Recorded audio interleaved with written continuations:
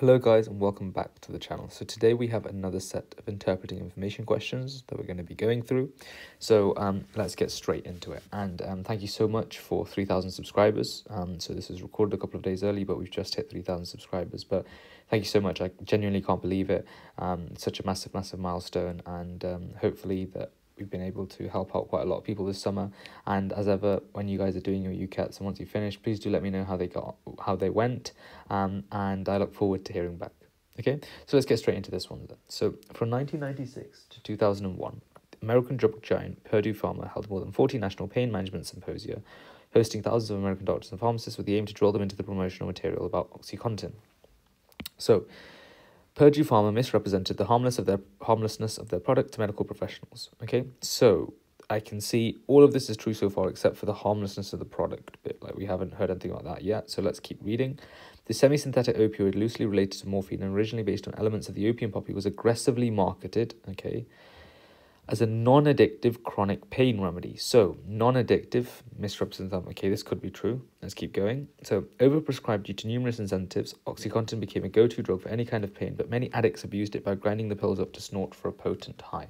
Okay, so it says here if the addicts abused it, then it must have been an addictive substance, and it says it was marketed as non-addictive. So this must be true. Okay, um, so American doctors and pharmacists were bullied into prescribing OxyContin. Well, it says over here that it was overprescribed due to numerous incentives. And all it says about the American doctors and pharmacists here is it says they, the, the aim was to drill into them promotional material about OxyContin. Okay, they weren't actually forced into doing it. Okay, so um, this one, there's not quite enough inference you can make. This bullied is a bit too far. Okay, so that's why it's no. OxyContin started out as a part organic drug for persistent pain. Okay, so it says it was um, over here, um, where was it? So it says it was based on elements of the opium poppy, so obviously organic. Um, and for persistent pain, it says and marketed as a non-chronic pain remedy. So I would say this is true. So once again, the key things that we're looking for are these kind of synonyms as such. So claims of OxyContin's non-addictiveness was the main reason for it being prescribed more often than necessary. Okay, so with this one, so this is one of the classic, classic kind of uh, tricks you can't fall for. So here it says it was always prescribed due to numerous incentives, and just before you know it talked about the non-addictiveness marketing idea. But the point is, it never says that was the main reason. It says it literally says here there were numerous incentives for why it was overprescribed, but it doesn't say this is the main one. So these kind of classic questions where yes they talk about the non-addictiveness specifically in the past and they don't talk about the other kind of reasons but that doesn't necessarily mean it was the non addictiveness specifically, um, which is why it was prescribed more often than necessary. Okay, so this is going to be no. And patients are to partially blame um, for the escalation of the opioid problem. So if we have a look here, it says many addicts abused it by grinding the pills up to snort for a potent high, fueling an opioid epidemic. So opioid epidemic, opioid problem. So you see there's a direct link as such here. Okay, and it says here the addicts abused it and they ground the pills up for a potent high. So I would say that this is probably true, that patients are partially to blame for the escalation um, of this opioid problem. Okay, so yeah, I'd put yes, no, yes, no, yes. Okay, great. So on to the next question then. Okay, so a Frenchman who suffered burns across 95% of his body has been saved by skin transplants from his identical twin. Okay, Skin's plasticity was partly credited for the success of the transplant.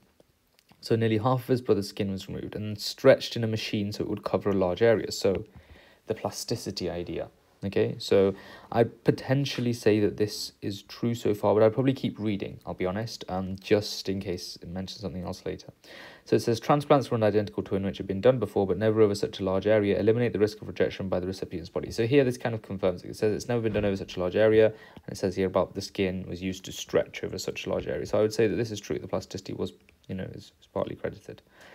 Um, this would be different if it says skin's plasticity was only credited for the success of transplant. Well, that's wrong here because it says right here about how transplants from identical twins remove the risk of rejection.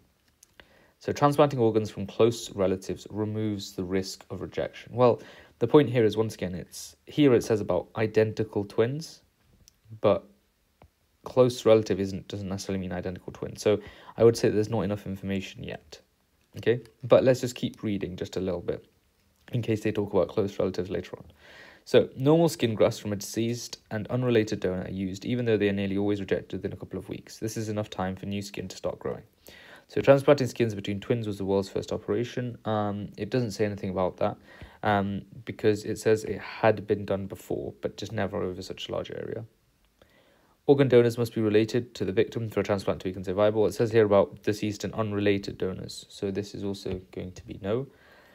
Skin grafts on a recipient's body are rarely permanent. Well, this is where that last line. So you can see what I'm doing is it's not just a case of um, having to constantly keep rereading information. It's about trying to draw links with the info that I've already read. So skin grafts on a recipient's body are rarely permanent. There is enough time for new skin to start growing. Okay, and it says here they are nearly always rejected within a couple of weeks. So this is probably going to be true. So the main idea is the grafts kind of act as a temporary stopgap whilst new skin can grow and replace. Okay, so yes, triple no, yes, that's what I got. Cool. Okay, on to the next question then. So priming suggests that when schemas, units of information stored in our memory, are activated in unison, a connection is made between the two. Okay, so this is probably an example of a passage I probably would have skipped. So if you guys haven't watched my decision-making strategy video, um, you can find it under my general UCAT guidance playlist where I talk about the decision-makings you should skip and why. Okay, and so this is one of the passages where I read and I kind of think, oh my days, this looks kind of challenging, right? And I don't really think I'll be able to process it well, so I'll just come back to it. Okay, but once again, for a more specific order on which questions I would do, if you check out that video, explains it in a little bit more detail. So, semantic priming effects, though used widely in cognitive psychology, are transient nature. You can just tell by some of these statements that they just look quite challenging. So, semantic priming effects is what we're looking for. So, more simultaneous activations lead to stronger connections, resulting in quicker recall of two associated concepts. This enhanced connectivity results in a faster response to a stimulus based on prior exposure to a related stimulus. While in both, while in both semantic and perceptual priming, prior exposure to a word can potentially enable faster processing of a related word, the word association is more linguistic in the former. So it's more linguistic in semantic priming, okay? In perceptual priming, the association is with words with similar forms, like rhyming words. So here it says it's widely used in cognitive psychology, are transient in nature. Um, I don't really think there's anything, doesn't really mention anything about that. It talks about a faster response to a stimulus, but that's just in general. It doesn't say specifically about semantic priming, about semantic priming effects. So I would say no to this one. Once an association is made between two schemas in long-term memory, it is almost impossible to break it. Okay, so the point here is it says that, you know, more simultaneous activations lead to stronger connections, resulting in quicker recall. But I wouldn't say it's almost impossible to break. I don't really think it mentions um, breaking the associations. It says you can, you know, the more um, simultaneous activations you get, the stronger connection you get, but I don't really think there's much about um, the actual breaking. So I'd say no for that one. It's possible to manipulate the time a person takes to respond to a subsequent stimulus based on a prior stimulus. Well, what did we just read? So we said here more simultaneous activations lead to stronger connection. So I would definitely say that this is true. Okay, um, so more activation, stronger connection means faster recall, okay, resulting in quicker recall of the two associated concepts. The exposure to a prime pear is less likely to facilitate the recognition or processing of the word bed than the word fruit. Um, so, prior exposure to a word can potentially enable faster processing of a related word. The word is more linguistic in the former, so it's more, yeah, okay, whereas, so it's basically saying with Semantic, it's more linguistic, so it's to do with the actual word, I guess. Whereas here it says it's associated with words of similar form, like rhyming words. Okay, so I'd say that this one is probably true. So this one I'm not completely 100% sure on, but pear is more closer to fruit than I would have thought that it is to bed. Okay, because pear and bed just, yeah, I guess in a way you can almost use a little bit of your common sense here as well. As well as obviously the information has to be in the passage, but you can use a little bit of your common sense here. Homophones, words that sound the same but have different spellings and meanings, have the potential to be associated in perceptual priming. Yes, because it says about similar form like rhyming words. So I would say that this is true, that last line. So you can see, so as you're reading as well, it's important to have that memory almost, right? So I'm not remembering every word, it's just key ideas here and there. And even if you don't have that memory, like it, it really isn't the end of the world, you can always just, you know, go back and read it again, but it'll just take you a little bit longer. That's all it is. Okay? So, yeah, let's keep going.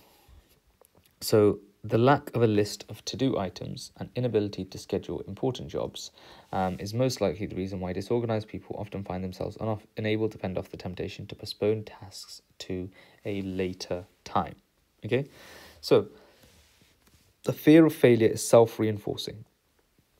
So it says, the fear of failure, and so I've read the first line already and I didn't find anything there, so I'm going to keep going. So the fear of failure is another reason that li- another reason that leads to avoidance and delay in performing tasks to an extent that the time period to perform lapses to perform lapses, and the procrastinator feels the ease of not having to deal with it anymore. Mounting tasks make them increasingly resigned to failure as they begin questioning their own ability to do things.